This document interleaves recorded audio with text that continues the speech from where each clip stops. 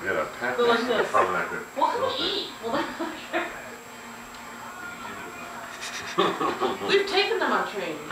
So the kids are outside, it's 16 degrees with a wind chill of minus four, and they want to go outside and play. It's so cold the snow won't even stick for their snowballs.